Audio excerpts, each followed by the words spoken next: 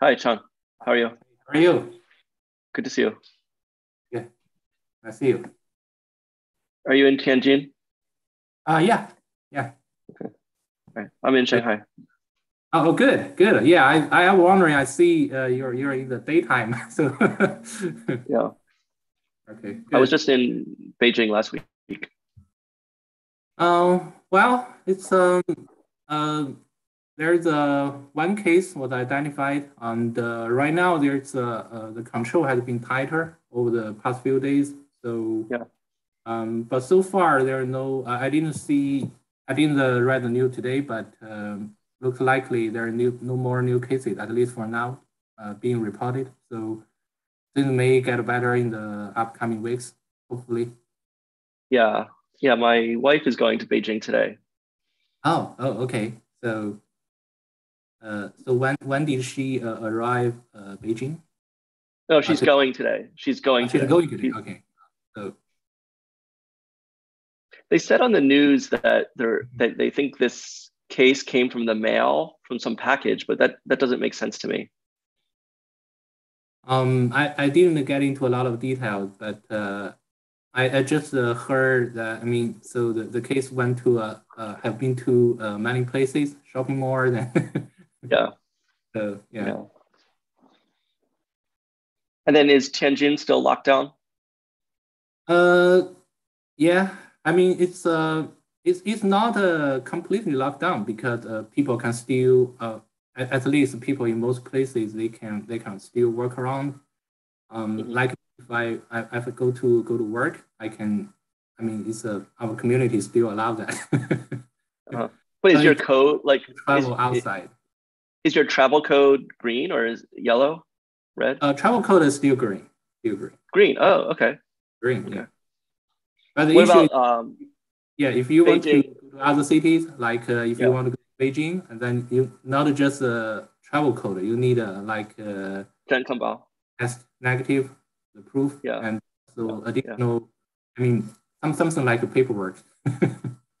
is is your um, Beijing Bao green or no? Uh, should be green. Yeah. Should be. Oh, okay, that's good. Do you want to um, test out your slides? Uh, yeah. Yeah. So okay. I can share right now. Okay. Yeah.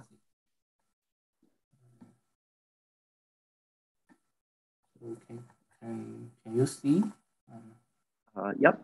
Um, maybe just do the okay. the the do the slideshow view. Okay. So I'm going to uh, stop if you. No, no. Can you do the do the slideshow view? Ah, okay. So uh, Am I still sharing a slide? Or? Uh, no, no, no. Yeah, okay. Yeah.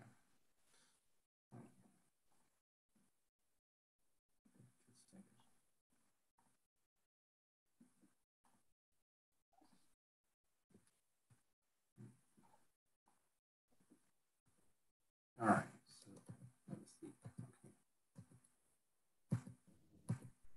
It's a 20 minute talk, so I, I don't have many slides. So.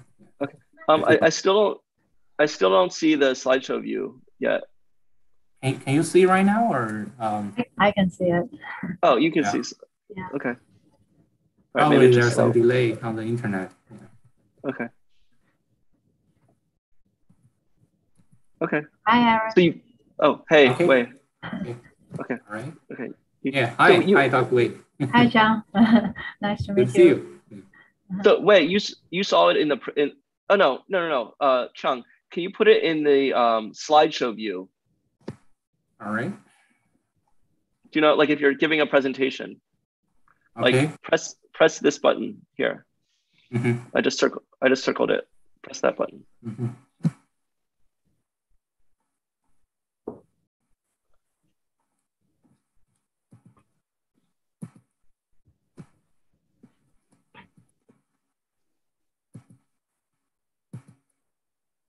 Can you can you do that? I, yeah, I, I don't. I'm, I'm playing the slides right now. Yeah, one by no, one. No, no, no, no, Don't play the slides. Just press slideshow view or go to view slideshow.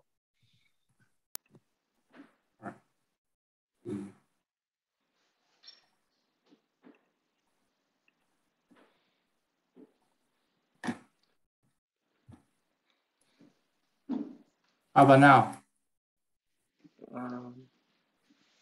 I I don't see. Wait, do you see? i- Is the slideshow view or still? In, No, no, I still Yeah. see the normal view.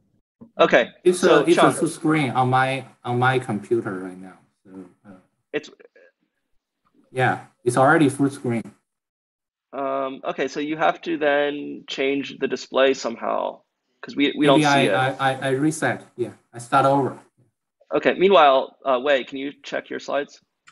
Okay, Let me. now I'm Let not me start sure over. about mine. Okay, you want to go Uh, first? Yeah. Okay, I can try mine.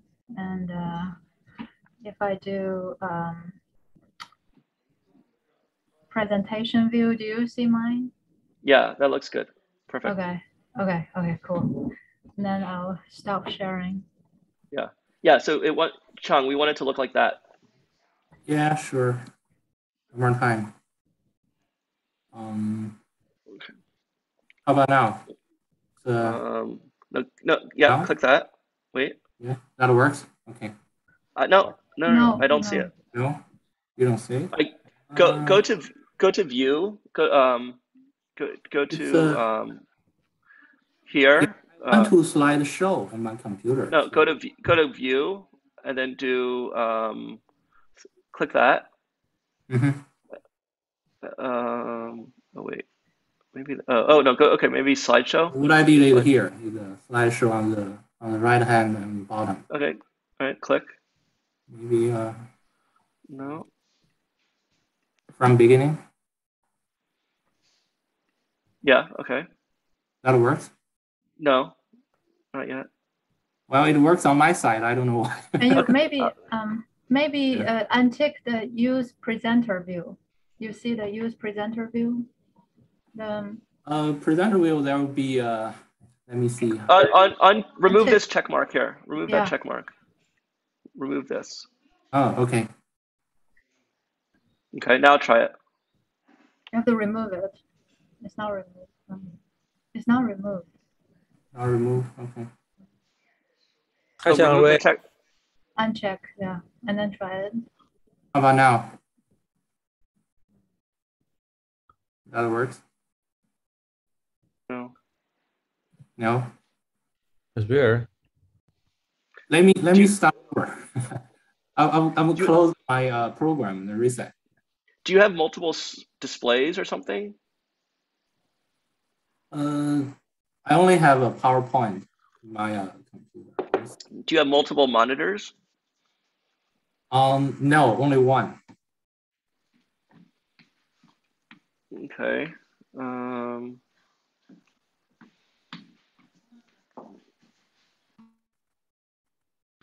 um, okay, try again. Let me let me share again.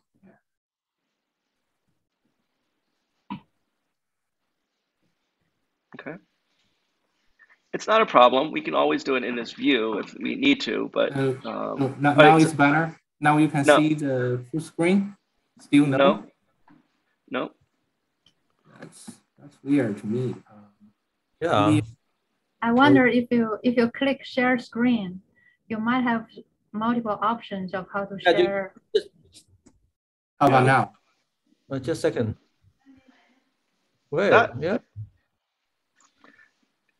It's not ideal, but it's a, that could be okay. But try to try to Oh, click it on. works. Wait, wait, just, just a second. It, it Mhm. worked like a second. Oh yeah, that's good. Wait, that was good. What yeah, happened? yes. It's, uh, you click, click again. Try again. I saw the full screen for, for a few seconds. Yeah, it should work. So here is the overview of all slides. We don't want that. We want this. We want this pr- Okay. the slideshow view. Wait, it- it- why, why just No. stop? Oh Now, now it works. no no no.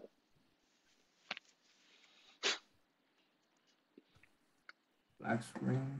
Try again.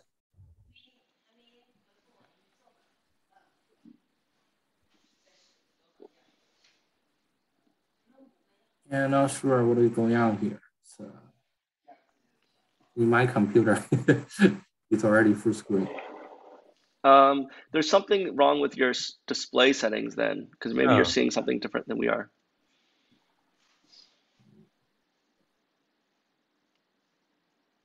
All right. We um, present uh, from the. Oh wait, primary monitor. Change. Try change to primary. Yeah. Yeah, yeah. Not not try it. So how is it? Hold on a second.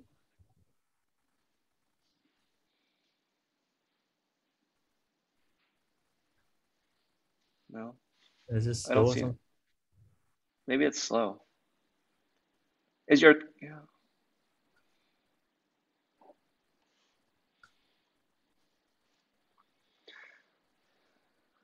All right. I guess that we'll have to live with this the way it is now. All right. Uh, That's okay. Zalong, maybe you could have some sort of symposium where you we talk about how to give Zoom presentations in PowerPoint. We can do that later. yeah. Okay. Um, Right. okay, we'll we'll do that. Uh, can you, Qiang? Can you stop sharing so I can do the introduction? mhm, mhm. Okay. Yeah, we'll we'll figure it out. Okay, yeah, fine. Okay. So should I get started? Go ahead. Okay. Okay. Hi, hi everyone. Um, welcome to another uh, week of NeuroZoom, and um, looking forward to hearing from Qiang and uh, Wei. But before we get get started, um, uh, just to let you know that uh, next week we have two more talks. We have another talk about uh, visual cortex uh, from Kalanit Grill-Spector, my colleague at Stanford, and we have a talk um, about new optogenetic uh, sensors from Andre Berndt at University of uh, Washington. So please tune in uh, for those talks. And now it's my uh, great pleasure to introduce my colleague and friend, Dr. Wei Wei. Uh, Wei Wei is an associate professor uh, in the University of Chicago. She received her uh, bachelor's degree um, in Australia at the University of Melbourne, then did um, a PhD with Roberto Malinow at Cold Spring Harbor Laboratory, and here she worked on uh, the role uh, or the effect of amyloid beta um, produced um, from axons and dendrites, and the, the effect on um, spines and plasticity. She then came to California to do a postdoctoral fellowship with Marla Feller at uh, UC Berkeley. And uh, here she started to study the retina, and she um, had a really uh, amazing, famous paper in Nature where she um, studied the properties of um, direction sensitive ganglion cells. And these are the cells in the retina that um, are responsible for the initial computations to detect uh, motion in the visual system. And um, the, uh, they're direction sensitive because the ones that um, detect direction in one way fire a, a, lot, and the ones in the opposite direction uh, fire minimally. And she, it was a big question of how the wiring is set up um, to have this effect. And uh, she figured this all out in, in a paper in Nature, and she found that uh, synapses on the strong on the positive side are strengthened, and the other ones remain the same. And this wasn't due to activity, but rather due due to some developmental program that happened in the second uh, week. So uh, this launched her independent career at the University of Chicago, and uh, where she continues to study computations um, in the visual system. And she's won the uh, Whitehall Foundation grant, uh, the Sloan Research Fellowship, pretty much every award you can win, the McKnight Scholar Award. And um, she's a wonderful neuroscientist, and really looking forward to hearing her latest. Go ahead, Wei. Okay, thanks so much, Aaron, for the kind introduction. Um, and I'd like to first thank you, thanks, uh, uh, thank uh, Aaron and uh, um, Zalong for this great opportunity. So my lab is interested in understanding how neuronal signals are transformed by synapses, by dendrites, and by circuits during sensory processing. And a prominent example of sensory processing is the direction selectivity um, in the visual system. This property was first discovered by Hubel and Wiesel in the cat primary visual cortex, where they found some cortical neurons respond strongly when a visual stimulus moves in one direction, but not the opposite direction. And a few years later, direction selectivity was discovered at the earliest stage of visual processing in the mammalian retina. There, Barlow and Levick characterized direction selected ganglion cells in the rabbit and also and show that their responses are also tuned to the direction of motion. And since then, direction selectivity in the retina has been a classic model to study neural computation because of its relative accessibility to experiments. So in the next slide, I'm gonna introduce a key mechanism underlying direction selectivity in the retina. So oh, hey, wait, uh, wait, you have to, sorry, you have to share your slide. Oh, oh, sorry. um, oh gosh. Uh, I need to share my slide, right? Yeah, sorry about uh, that. Okay, thanks for catching that early. Um,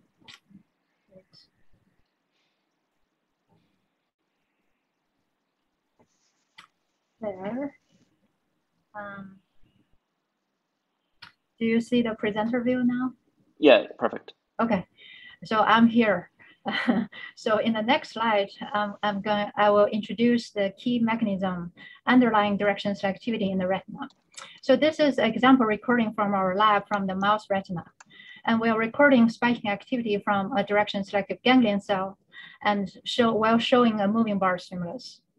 And here, when the bar is moving to the left, uh, this is the preferred direction of the cell, we see lots of action potentials. And in the opposite direction, there's no action potential. And then when we record the inhibitory current the cell receives, we saw that the inhibition the cell receives is also tuned, but to the opposite direction.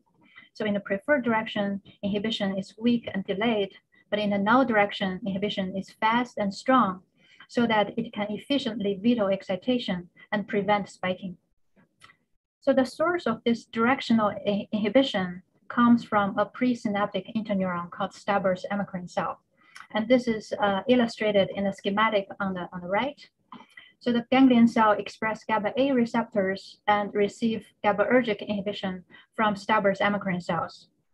And both the starburst amacrine cell and the ganglion cell receive light evoked glutamatergic excitation through this vertical pathway uh, of photoreceptors to bipolar cells. So when the moving bar is in the null direction of the ganglion cell, this triggers maximum GABA release from the starburst cell onto the ganglion cell, causing strong null direction inhibition.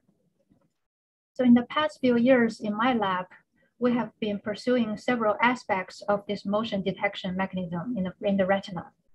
So the first aspect is the implementation of direction selectivity, meaning how direction selectivity is generated by synapses by dendrites and by circuits. And a second aspect is the contextual modulation, meaning that the direction selective responses can be modulated by the spatial and temporal features in the visual environment. And we'll, we, we aim to uncover neural mechanisms underlying those contextual effects. And the third aspect is the noise resilience. So how is direction selectivity robust under a variety of visual conditions? So today I will focus on the second, uh, on the third topic on the noise resilience. But before I go into details, I'd like to give a special shout out to all the people in my, in my, in my lab have been working on all these aspects in the past few years. And so this is my last cohort of grad students who have now all graduated and went on to, to start postdoc research in amazing labs uh, across the country. So Hector worked on the implementation. He he specifically worked on the dendritic computation by Starburst amacrine cells. Lindsay and Jen work on the contextual modulation of the circuit, and Chris work on the noise resilience. So I hope I got more opportunity to show you more uh, studies from, from our group.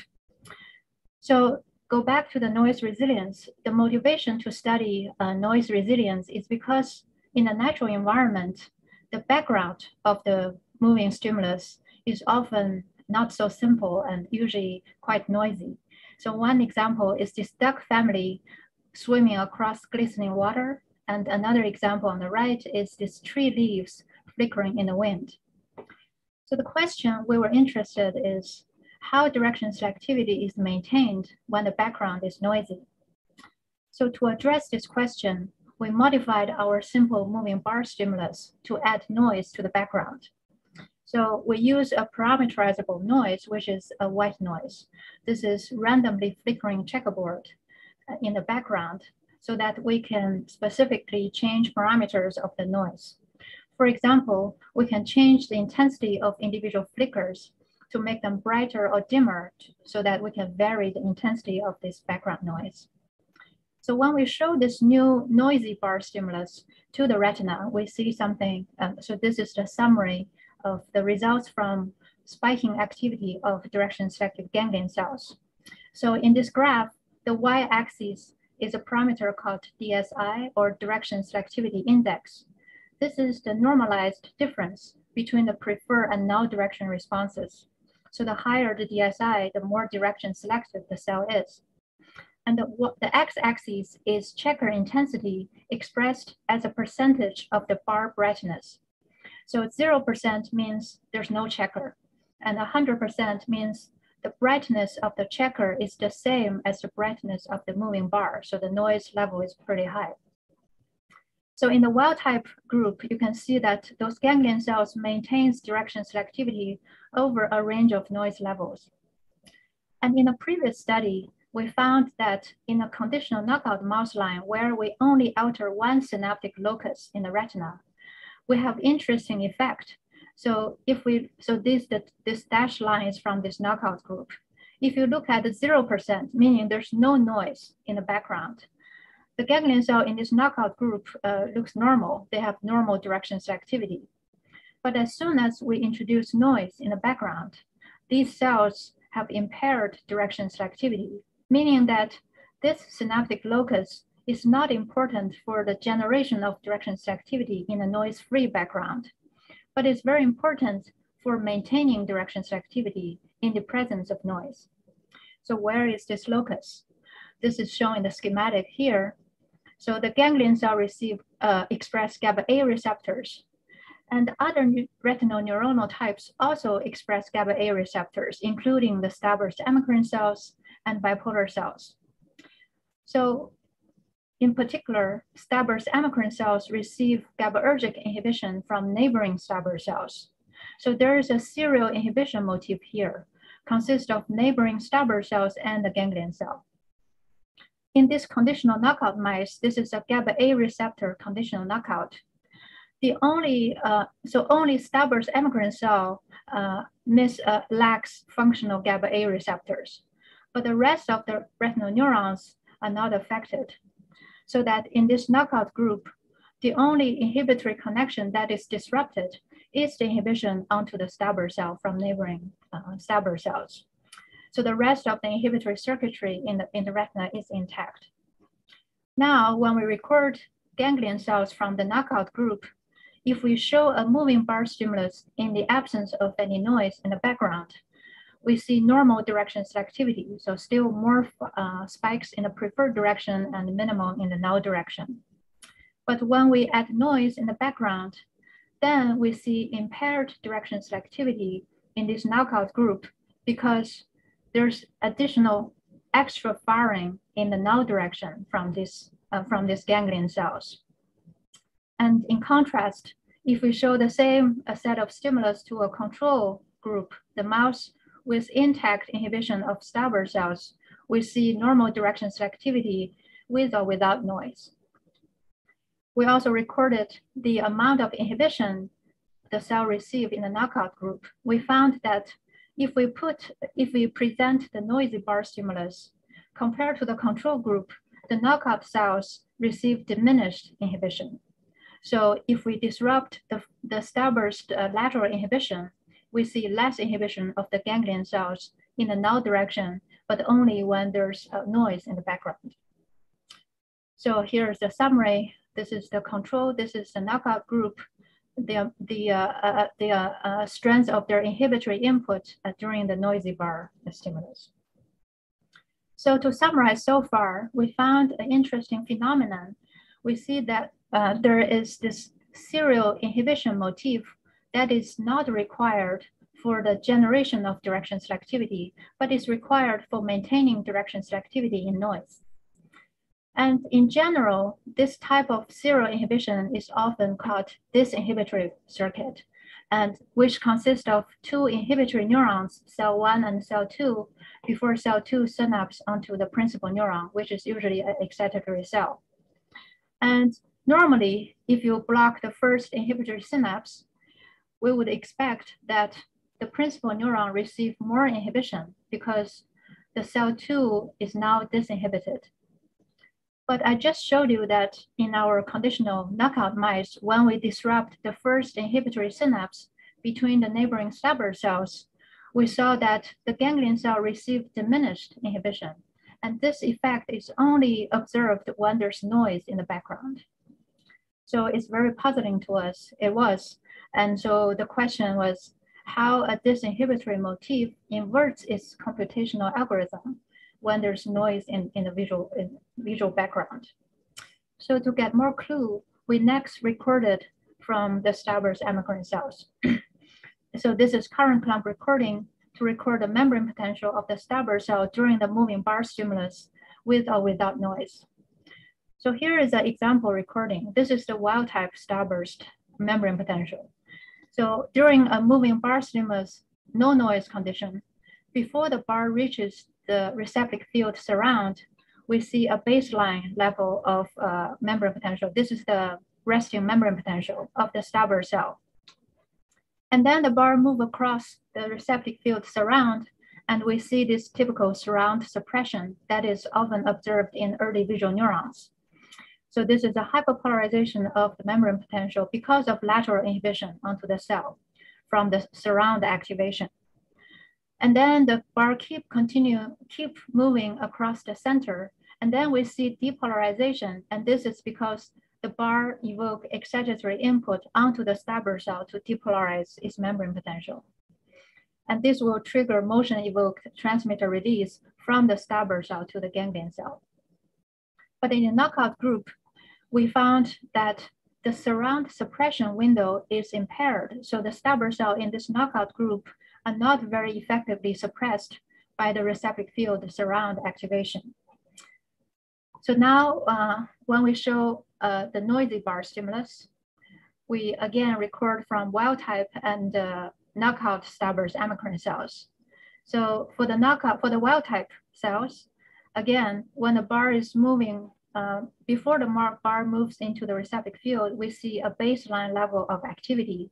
But now you see it's more noisy because the flickering checkerboard background activate noise response in, again, in the Starburst cell. And then the moving bar continue to sweep across the surround. And then we again see surround suppression. And you can see that this surround suppression effectively silenced the noise activity of the Starburst cell, followed by the motion evoked depolarization due to the center activation. And then if we look at Starburst amacrine cells in the knockout group, we see similar baseline level of noise activity. We also see similar depolarization evoked by the bar in the center. But what is really different is this surround suppression time window where the noise response failed to be suppressed by, by the receptive field surround. And this is because the Starburst cell uh, miss lateral inhibition in this knockout group. So to summarize, the difference between so the response uh, of Starburst cell in the knockout group differs from those in the control group only during the surround suppression window. So the motion evoked surround suppression is impaired so that the noise response can no longer be suppressed prior to the motion response. And so the quantification shows that the baseline activity is similar and also motion evoked depolarization is similar in both groups. So, so the main effect of disrupting lateral inhibition between Starburst amacrine cells is the lack of surround suppression and, and suppression of the noise response. And this difference led us to another clue about the Starburst amacrine cell property. And so this is a synaptic property. So from previous studies from our and, and uh, our group and also Marla Feller's group, we know that the Starburst cell to ganglion cell synapse have a short-term depression. So it's a depressing synapse. And the way to look at depression is by paired recordings. So we can use two electrodes to patch a pair of synaptically connected Starburst and ganglion cells. And we can stimulate the Starburst cell with uh, an electrode and measure the postsynaptic inhibitory response in a ganglion cell. So a standard uh, paired-pulse protocol is two square wave pulses for stimulating Starburst cells and measure the postsynaptic response. And this is an example of depression because the second response is depressed relative to the first response. And this is a typical summary plot plotting the paired-pulse ratio uh, uh, as a function of interstimulus interval, again showing the short-term depression of the synapse. So now we came up with a hypothesis to explain the effect we see in the knockout group. We think in the control condition, the noise evoked activation of Starburst cell is transiently suppressed by motion evoked surround suppression. But in the knockout group, when we disrupt this first inhibitory synapse, Starburst amacrine cell can no longer uh, have a functional surround suppression so that the noise evoked activity cannot be suppressed and persist into this time window right before the motion evoked activation. And this ongoing noise activation leads to short-term depression of the starburst synapse so that the starburst cell release less GABA onto the ganglion cell during the motion stimulus. Even though the starburst cell is depolarized to the same extent by the motion stimulus, but this prior window that is no longer silent, um, it really matters and, and triggers unwanted synaptic depression in the knockout group. So this is really uh, uh, makes a lot of sense to us, but we, we want to further test this hypothesis because this is, this is a hypothesis based on a genetic uh, knockout line. So next, we want to test this hypothesis in wild-type animals.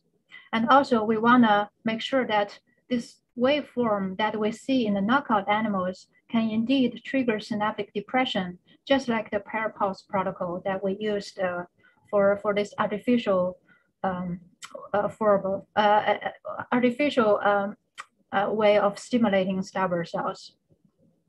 So we did another set of experiment now, this time only in the wild type animals. So we, pair, we patched pairs of Starburst and ganglion cells. But instead of stimulating Starburst cell with pair pulses, which is uh, the two square pulses to check for depression, we try to mimic the activation of Starburst cells in the control versus knockout group during the noisy bar stimulus. So the, the experiment is, uh, example experiment is shown in the slide where the presynaptic Starburst cell is activated using one of the two waveforms. So these waveforms are taken from uh, activity patterns recorded in either knockout group or in the control group. And so in this two waveform, everything is the same except this time window prior to the motion evoked depolarization. So in the knockout group, we see that noise activity persists into the uh, the surround suppression window right before the motion uh, response. And in the control waveform, we keep everything the same, but we replaced this uh, surround suppression window in the knockout group with uh, the average trace we recorded from the wild type uh, Starburst amacrine cell, in which the noise response is effectively uh, silenced. And then we measure the postsynaptic current in the, in the ganglion cells to randomize uh, stimulation of two waveforms.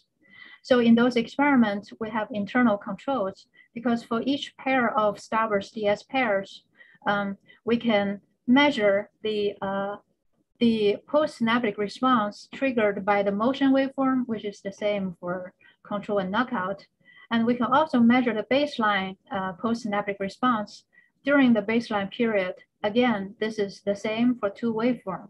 But the difference is that in the knockout waveform, there's additional activation of the Starburst cell, just as we see in the, in the knockout um, Starburst amacrine cells. So to summarize, we when we look at the, uh, uh, the evoked response in the ganglion cells using the knockout waveform, they show significant depression compared to the response evoked by this control waveform, indicating that additional activation of Starburst cell in this knockout group can indeed trigger synaptic depression. So to conclude, we found that there is this disinhibitory motif in the retina that is responsible for the noise resilience of direction selectivity. And interestingly, this motif perform this noise resilience function, but not with disinhibition. Instead, it's doing the opposite of disinhibition. And this is because the first inhibitory synapse is, is, is important for this center surround receptive field of Starburst amacrine cell, so that when there's noi noise in the motion background, the center surround receptive field create a specific network dynamics that interact with the window of synaptic plasticity at the second synapse. So this combined interact this interaction between network dynamics and synaptic plasticity, plasticity leads to an inversion of the algorithm. So instead of disinhibition, now this motif can protect motion evoked inhibition of this principal neuron. And I'd like to end uh, this, uh, this study by trying to generalizing uh, to, to other uh, systems in the brain because these inhibitory motifs are not something unique. They are repeatedly observed in, in many parts of the brain. And it's very well studied in hippocampus and neocortex. For example, the VIP positive interneurons are important in mediating, uh, in participating in this disinhibitory motif and is thought to serve as a, a selective gating mechanism so that when the VIP neuron is activated, it can relieve inhibition of the principal neuron to allow uh, plasticity and, and the sensory processing.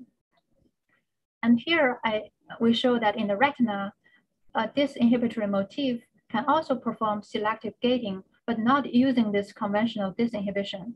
And this is because the interaction of network dynamics and plasticity can actually filter out unwanted inhibition, but preserve feature selective inhibition. So the take home message is that a canonical circuit motif can implement multiple context dependent algorithms. And you know, when you consider interaction between plasticity and network dynamics, there are, there are really this algorithmic uh, flexibility in how a circuit motif can transform incoming signals. So with that, I'd like to thank uh, my, my team and, uh, and our collaborators, particularly uh, this uh, noise uh, project is done by Chris Qiang Chen. And our collaborator, Robert Smith at UPenn, helped us to do some computational modeling to best, best for us to best approximate the starburst activity pattern in, a, in our voltage clamp experiments. And also thanks to the funding source. Do I have time for questions? Uh, thanks, Wei. Uh, great talk and time for questions.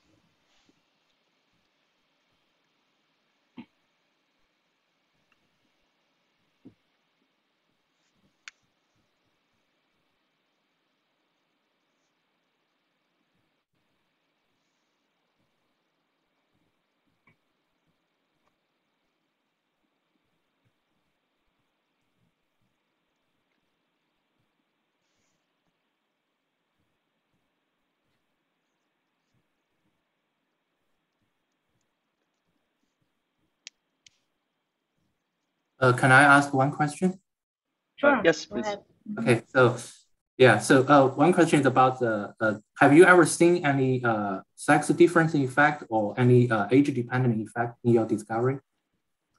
Um, we, we haven't, we keep track of the, the gender of the mice, um, but from the data set, the, the data points are quite, we don't see a binary distribution. So we haven't uh, checked specifically, but uh, yeah, we, we don't think there's a sex specific effects.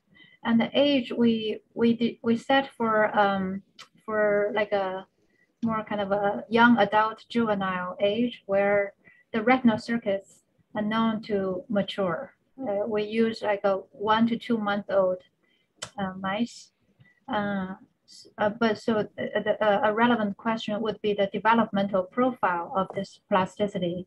So this has been uh, studied in Marla Feller's group, where they see that this uh, depressing synaptic depression between the starburst and ganglion cell is already present uh, as soon as the synaptic connectivity is made. Um, so, so this, this property arise, synaptic depression arise early in development. Thank you. Um, Jian Young, do you want to ask your question? Sure. Uh, ah, oh, oh, yeah. Thank you very much. Um, my question is, uh, do you see um, starburst, those starburst synapses have a similar synaptic depression? Yeah, this is a great question. And uh, so because we, we think during the noise will activate the starburst cell to depress the transmitter release. So this, this depression is very well characterized between starburst and ganglion cell. And uh, it hasn't been well characterized between neighboring starburst cell. But, uh, but you're right, it's, I, we think it's highly likely that there's also depression between neighboring starburst cells. So, so when there's noise in the background, the starburst, the lateral inhibition among starburst cells is, is affected and may also have some degree of synaptic depression. But, uh, but whatever that residual inhibition from neighboring starburst cell is, can create a quite effective surround suppression. Uh, so, so I would imagine, so I, my guess would be that there, there is some depression between neighboring starburst cells, but uh, the starburst cells are very dense in the retina and they are extensively interconnected. So even with some degree of depression during the mo uh, moving stimulus, as the bar move across this neutral inhibitory network, the starburst cell is still can still receive sufficient inhibition that that silence the noise activity. Uh, but that, that's an excellent question. And the reason is we still observe this very prominent surround suppression in wild type retinas with, with those intact uh, lateral inhibition. Thank you very much. Uh, can I have another one? Sorry about this. Sure. Um, the starburst cells also have a acetylcholine as neurotransmitter. Do you see any contribution? Yeah, yeah, yeah. That's a great question. We also check that. Uh, so this is a detail I omitted uh, in, the, in the talk. So starburst cell not only release a GABA uh, into the ganglion cell, but also at least release acetylcholine, which is excitatory to the ganglion cell. But the excitatory acetylcholine release is not uh, is symmetric in both directions. And uh, and we first of all we found that when we have a noisy bar stimulus, the contribution of excitation from acetylcholine is greatly reduced. And the primary excitatory drive to the ganglion cell is from the bipolar cell uh, evoked uh, glutamatergic, uh, uh glutamatergic uh, excitation. So in that case, so the starburst cell may also have some somewhat uh, reduced cholinergic excitation to the ganglion cell, but given this this this component, this cholinergic component contributes little to the overall excitation of the ganglion cells. So that effect is, uh, is, is, uh, is not significant. And it's also not uh, affect, it's not direction selective. So meaning that uh, the, the most um, impactful uh, um, component is this inhibition from starburst cell to the ganglion cell. Great, thank you very much. Very impressive work. Thank you. Those great questions. Okay, thanks so much, Wei. Awesome talk. And uh, Zilong, do you want to introduce Qiang? That's beautiful work. So uh, it's my great pleasure to introduce the uh, young colleague of mine, uh, Qiang Liu. Well, from Tai, you can tell uh, Qiang is a physician scientist. He may still will see patients today, later today. So Qiang is graduated from Nanjing Medical uh, University, trained as a, physician uh, uh, from, from bachelor degree and master degree. But after that, he become also part of a scientist, started his PhD in US and Barrow, Barrow um, Neurology Institute, was with uh, Fu Dongshi. So after a PhD, a neurological uh, PhD, he started another postdoc in the immunology. So with that, he, uh, Qiang has interesting dual background with neurological disorder and immunology. So after he come back to China, started his own lab in uh, Tianjin Medical University, as well as uh, clinical practice, I believe. So uh, he started his uh, uh, research on uh, interesting background, interesting aspect is immunology, as cell biology during um, during the most common neurological disorder like stroke. So for, the last couple of years, he has uh, lines of amazing work to tell us how the natural killer cells, uh, some other immune cells work in during the, the neurological disorders.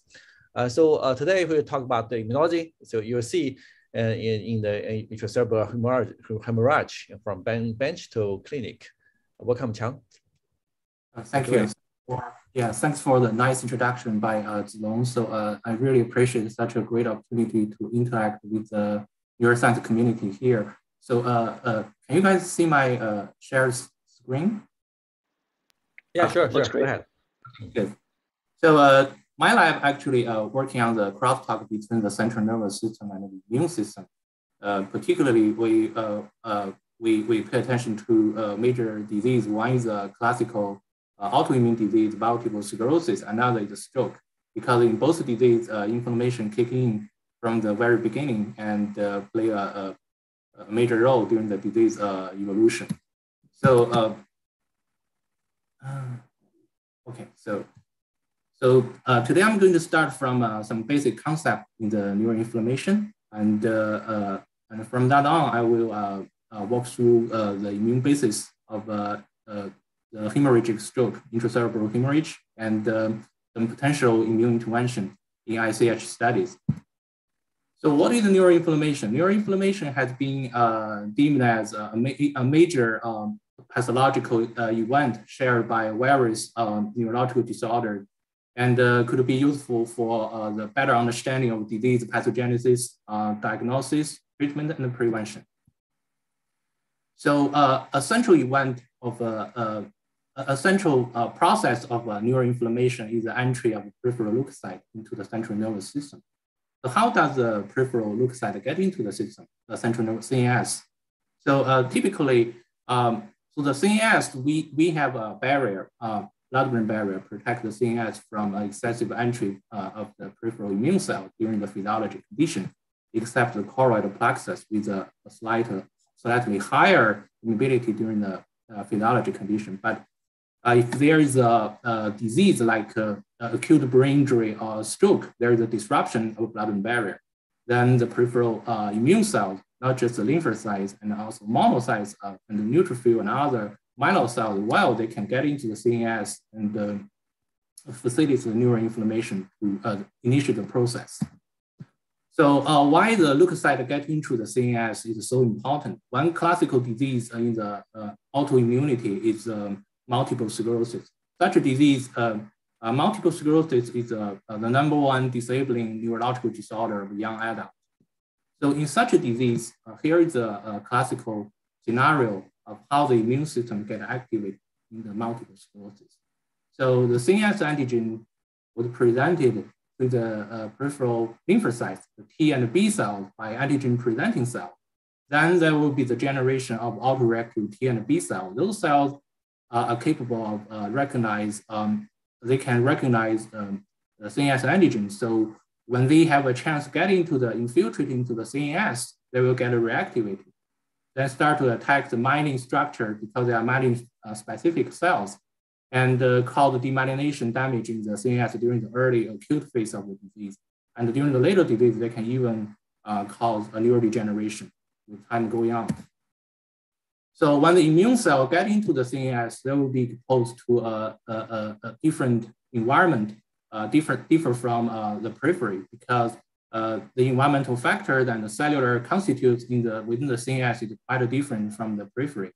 For example, the neurotransmitter, the cytokine and the chemokine level, and uh, in the brain there are neurons and glial cells. Those all differ from uh, greatly from other uh, immune organs or peripheral other uh, tissue cells. So ideally, the immune cell when they get into the CNS, they will have a new feature different than the periphery. Um, will affect their phenotype and function, which is called organ-specific feature of the immune cell, means their uh, state and function will be determined by the environmental factor. So now we come back to stroke. Stroke is a leading cause of uh, death and disability worldwide. So uh, uh, the majority of stroke are ischemic, which means there is occlusion of blood vessel within the within the brain called the ischemia. Um, there is about 15% of all stroke cases are hemorrhage. So today we are going to talk intracerebral hemorrhage, which means uh, there is a, blood vessel rupture within uh, the brain parenchyma, cause a hematoma formation and uh, further brain damage, which is uh, often uh, more lethal and more deadly than the ischemic stroke. So if we look at the, the clinical picture, the CAT scan, so, so what will happen after uh, intracerebral hemorrhage, ICH occurs. After ICH occurs, there will be a hematoma formation, which means the blood component will form a clot within the brain. So with time going on, the clot uh, size may expand. And also, if we look at the, uh, the tissue surrounding the, uh, the hematoma, uh, there is a, uh, if we do the CAT scan and quantify the volume, which is called the perihematoma edema, which means the clot, the hematoma can cause mass effect which is the primary injury to push the tissue around and cause further tissue damage. So the PHE, the volume can be quantified, and right now can serve as a clinical marker to predict uh, the patient outcome. So if we look at the numbers, uh, the PHE can increase during the early disease uh, uh after hours after disease onset, and then continue to, uh, to increase uh, until over the course of the disease, which means it may serve as a not just a disease marker and also a therapeutic target. unfortunately, for ICH, right now we have no specific drug for the effective treatment, not for yet.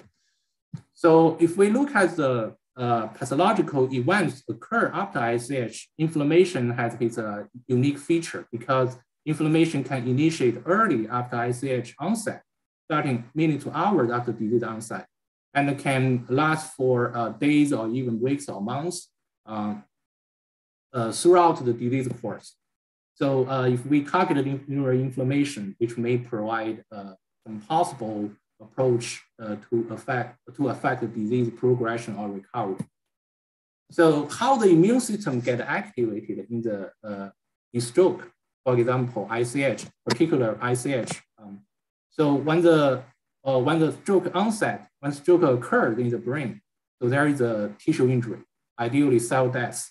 After cell death, uh, the cell, uh, uh, uh, the content like a danger signal, including uh, the cell debris and uh, the product released by the dead cell or injured cell, cytokine, and other factors will activate the local glia within the CNS, including astrocyte and microglia. And those glial cells will release abundant chemokines. So the chemokine will recruit uh, leukocyte from the periphery.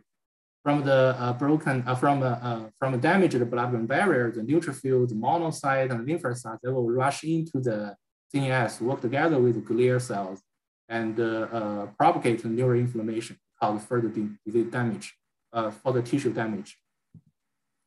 So this scenario is different from the, uh, the classical autoimmune disease, multiple sclerosis, because in that disease, the immune system, the activation starts from the periphery. But here, the primary onset, uh, the primary site of injury is within the brain. So the immune system activation starts from the brain. So our lab uh, uh, used to work on the natural killer cell. We have been uh, working on this cell because uh, uh, these cells uh, uh, comprise of the first line of immune defense and can produce a large amount of burst release of interferon gamma and other key uh, uh, factor to uh, initiate and drive inflammation process. So it's a it's an innate cell that can kick in during the early phase of tissue inflammation. So uh, a better understanding about the natural killer cell may provide opportunity to uh, uh, to uh, provide a further insight of, of the inflam inflammatory process. So here is just a typical image. For, for example, if we look at the Giemsa image staining, we can see the mononuclear cells uh, the natural killer cell. And if we under the EM uh, image, we can see the, uh, the granules which containing cytotoxic vesicles within the cell bodies. So, um, so to understand uh, the immune component, their potential impact on the perihematoma tissue uh, uh, injury. So uh, in the clinic, so in the ER room, uh, in the emergency room, when patient with intracerebral hemorrhage, hemorrhage um, they often need to undergo certain surgery, like uh, to, to open skull to remove or the hematoma evacuation to remove the hematoma. So for example, if in that surgery, we, we have a chance to, to harvest a little bit tissue because during the evacuation, there is some uh, tissue residues on the uh, on the tubing. So uh, if we do the staining of the tissue, we can see a various uh, kind of uh, uh, immune cell subset during the disease, during the early phase of disease. Um, that, that means within 24 hours of disease onset. If we look at the, the different immune subset uh, among the various leukocyte subset come from the peripheral getting into the CNS, we can see the natural killer cells uh, as the most abundant one during the early phase of the disease. So in mouse models of ICH, so we to induce that model, we usually introduce, uh, we, we usually inject uh, uh, coagulates into the, uh, the brain parenchyma to create a hematoma. So the mouse uh, model actually can reproduce some of the feature of the human disease. So if we look at the mouse model, we, we use the single cell sequencing technique to measure the molecular feature of natural killer cells within the ICH brain and uh, those cells, those natural killer cells still remain in the periphery. If we do the comparison, uh, we, uh, we go to this uh, table, we can see especially the cytotoxicity molecules and the chemokine signatures are upregulated by natural killer cells when they get into the brain, which means so in the ICH brain, the natural killer cells become more toxic and they are able to produce uh, chemokines to affect the inflammatory responses. So, uh, so uh, we, we have performed other studies to, uh, to test our hypothesis. Here is a, a, diagram to summarize our major finding on this uh, project. What we found is after the onset of ICH, surrounding the hematoma tissue, so there is a natural killer cell uh, getting the CNS from the periphery. And once they get into the, the brain parenchyma, they, they release chemokine and a cytotoxic molecule to cause further damage of the blood-brain barrier and recruit, recruit neutrophil to, uh, uh, to facilitate, accelerate the expansion of perihematoma edema, which means uh, those cells are detrimental during the early disease, uh, uh, disease stage. So, uh, so after we identify natural killer cell as one of the detrimental immune component in the acute ICH injury, so we, we, we, we sought to understand if there's other immune component that may affect the disease uh, progression, but uh, may, may, maybe they have different roles. Um, so uh, one example is uh, the bone marrow. The bone marrow is a central immune organ within the immune system. it's called central because it's, it's a it is a major source of most of the immune cells. Uh, for example, the, uh, uh, the, the, bone marrow can uh, produce like uh, uh, 10 to 100 billion of neutrophil or monocyte in a single day. Try to replace the cells because those cells, the lifespan is really short. Unlike neuron, neuron may have a lifespan for months or years or even life lifetime, but immune cells mostly they have really short lifespan and particularly for those uh, innate cells, they need to be replaced. And our hem hematopoietic uh, uh, uh, system is quite busy all the time around. So particularly in the bone marrow, we produce a large amount of cells and go to every part of the uh, peripheral organs. So, but we have no idea how bone marrow responds to neural injury because all the all the immune organ and the hematopoietic system is actually tightly regulated by the nervous system but uh, we still don't know their response to the after to the acute neural injury. To answer that question, so we uh, we went back to the ER room because uh, I mentioned in the in the acute surgery uh, for the acute ICH, some patient when need uh, they need to the hematoma uh, evacuation.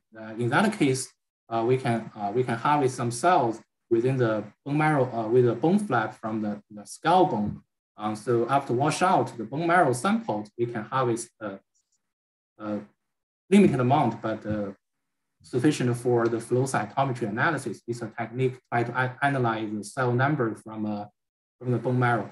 So if we look at the analysis, we can find, uh, so particularly, uh, we feel very interesting because uh, we, we found a, a, a, population of uh, bone marrow cell, which is called the hematopoietic stem cells. Those which, which, uh, which are called stem cell because they can, they have uh, capability to produce all kind of immune cell and downstream like progenitor and mature lymphocyte and myeloid cell Ideally, if we have a, a few uh, hematopoietic stem cell, we can reproduce the entire immune system because those cells have a strong capability to proliferate and self-renew. So uh, we found a, a strong um, proliferation of uh, uh, hematopoietic stem cells after ICH onset in the bone marrow system. And, uh, uh, and also uh, because the stem cell, will produce myeloid cells or lymphocytes. If we look at the specific myeloid cell progenitor, we found an increase of myeloid cell progenitor cells together with the stem cell uh, increase. But uh, uh, oppositely, we saw uh, a reduced number of lymphocyte progenitor, which means so the hematopoietic system actually go different ways after the, brain injury. So we go back to the, uh, to the mouse model, the ICH mouse model. So in such model, we, we saw the similar phenomenon, which means after ICH occur, uh, we can see an increased number of uh, hematopoietic stem cells. And also, uh, if we compare um, the number of myeloid cell progenitor, we also see a, a large increase of uh, uh, uh, myeloid progenitor, progenitor cells, which means the myeloid, myeloid cell production has been increased of the ICH onset. So, so why this is important? I mean, so if we see the increase of myeloid cell production, so what will happen? I mean, so uh, so what will uh, happen to the to the product of the bone marrow? It, uh, will, will the will the output of bone marrow of different cells will be uh, will be different uh, from the physiology condition? Will they affect the brain? So that's our question. To answer that question, we use a transgenic mouse lab. So that mouse we uh, allow us to, uh, to perform lineage tracing of hematopoietic stem cell, which is a, a technique to allow uh, if we inject tamoxifen to induce the tdTomato depression of the uh, hematopoietic stem cells, and those cells will continue to uh, uh to to express tdTomato during their self-renewal and differentiation. Which means, so if we inject inject the mice with uh, tamoxifen, we can induce uh, the tdTomato in the HSC and all the all their downstream cell lineage after ICH onset. So with that approach, so uh, we we induce the tdTomato expression in the all lineage of newly uh, produced immune cell from the bone marrow after ICH onset. And if we perform a flow cytometry analysis, uh, we can look at the result and see actually after ICH onset, uh, the, uh, the product of the bone marrow is a Ly6C low monocyte. Uh, and their uh, progenitors and uh, the stem cell. So which means uh, the final outcome for the bone marrow hematopoiesis increase is a Ly6C low monocyte. And those monocytes conventionally think they have regulatory function and reduce inflammation. So if we look at the brain and those regulatory monocytes can actually get into brain and, and produce uh, interleukin 10 and other uh, immune regulatory factor, factor to suppress uh, acute inflammation. So we, uh, because the, the, the, immune system is tightly controlled by the central nervous system, one major pathway is the sympathetic innervation um, through catecholamine pathway. So our, our group have been studying on those pathways for for, uh, for year to decade. So um, um, so when there is one way to uh, to enhance the adrenergic activation because we, we believe ICH after ICH, uh, the adrenergic activation actually cause this uh, self-protective effect of bone marrow. So if we use a, a method to uh, use pharmacological approach to stimulate, stimulate the bone marrow through the uh, adrenergic receptor, can we have a protective effect? So that's our question. To test, to test this question, we use a, a beta 3 agonist. Um, It's called mirabegron. It's, it's a drug uh, approved by FDA um, to uh, it's drug target beta 3 receptor because that receptor is highly expressed by bone marrow cells. Um, so if we use uh, uh, that drug and uh, to treat the mice, we can see the reduced neurological deficit after ICH. And if we look at the new neural imaging, uh, those are MRI image, look at the image, we can see the reduced volume of perihematoma edema uh, after ICH onset, which means so if we uh, stimulate the bone marrow and uh, increase the production of uh, ILY6A low, the regulatory monocyte, we can suppress uh, the neuroinflammation and the brain injury. So here is the, uh, the summary of, the, uh, of this project. What we found is after brain injury, the adrenergic innervation stimulated the bone marrow, caused bone marrow hematopoietic stem cell to proliferate and produce increased number of regulatory monocytes. And those monocytes home into the injured CNS and produce uh, immune regulatory cytokine, including IL-10, and reduce uh, neural injury after ICH. So, uh, so our study uh, uh, proposed a, a, complex immune system, which means on one arm there's a, detrimental effect, on the, arm, the other arm there's some uh, protective effect. Different immune components play different role and during the disease process. So uh, is there any way uh, in the clinic we can do something, I mean, to, uh, to stop the, the, detrimental inflammation, especially during the early disease phase and uh, try to achieve a better outcome? So we, we noticed there is one drug, it's uh, uh, called fingolimod, it's a S1P receptor modulator. This drug has been approved by FDA to treat multiple sclerosis since 2010. Um, the mechanism action of this drug is to uh, when the chemical bound with a, a receptor expressed by the uh, lymphocyte, because the drug mostly ta target the lymphocytes, ideally T and B cell.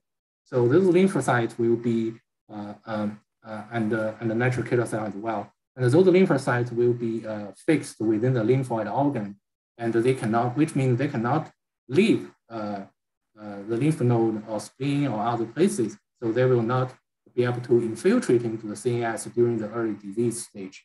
So, uh, so if we, we give the patient this drug, we can shield the brain from the uh, lymphocyte invasion uh, during the uh, early disease phase. And so, um, so in collaboration with other PIs and uh, uh, um, so there is a one, one early phase clinical trial performed at uh, Tianjin General Hospital by the investigators here and uh, published years ago. They show uh, the uh, the protective effect of fingolimod on the early stage intracerebral hemorrhage on the patient. It's a, a small scale study. And, and, and from that on, um, from that time on, and there are a couple of other studies uh, one is ongoing, uh, two are ongoing, and uh, using similar drugs, more selective and second generation autoantibody modulator ongoing, and uh, there are another drug uh, it's still using with uh, larger samples and uh, the different cohorts going. So we uh, we look forward to see the results in the future uh, future years, and hopefully there will be some interesting finding. So overall, the immune modulation right now in the ICH still at its early stage. Um, still need further testing, but it had the potential to reduce perihematoma edema and improve the disease outcome. So here I'm going to thank my uh, colleague, my friend, and collaborator, also the funding and, and, um, and for their support uh, for to perform those projects. And here the picture show the, uh, the hospital, uh, the Tianjin General Hospital, uh, our clinic, uh, our inpatient ward is at uh, floor 89 and uh, my lab is at uh, 21 to 22. So actually they're in the same building. So and, uh, um, and thank you for your attention. I'll be happy to take any questions. Great, great. Thanks, John. Was beautiful talk. I'll open for questions.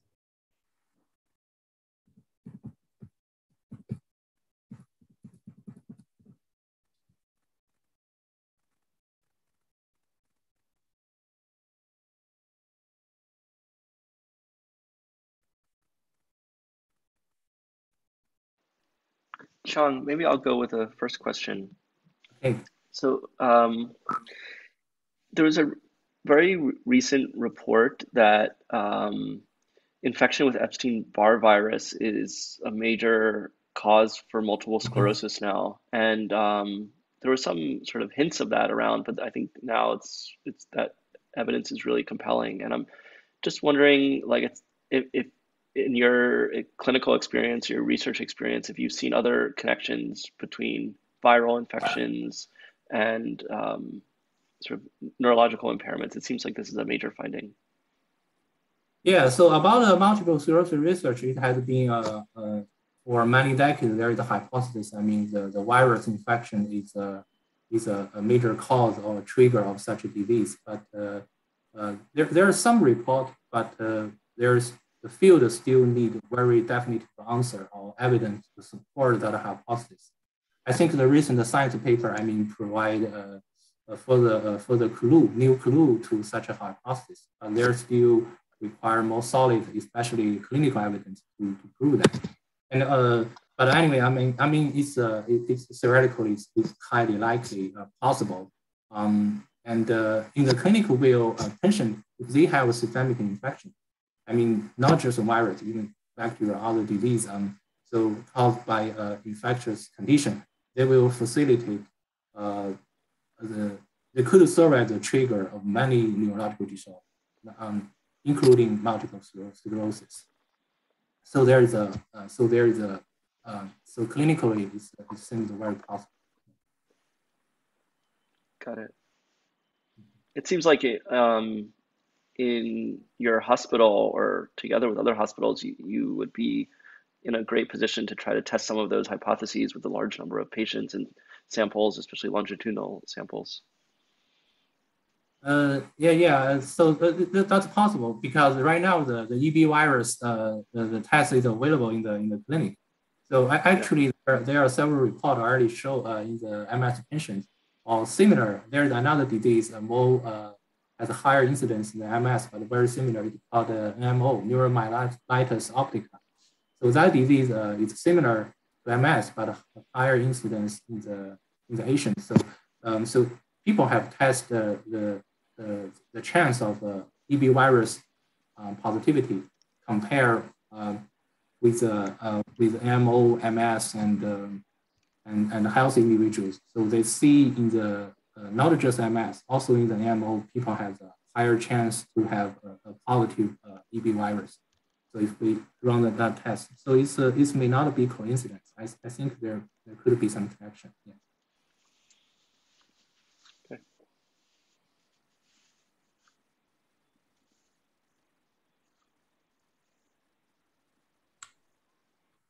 Great. Uh, even more questions, like thank uh, Wei and Qiang for uh, great talks mm-hmm. today. Great. Nice to see you. It's a long time. Great. Hey, thank you. Thanks. Thanks, guys. Thank you. Thank you. Thank you. Bye. Take care. Thanks very much. Take care. Thanks.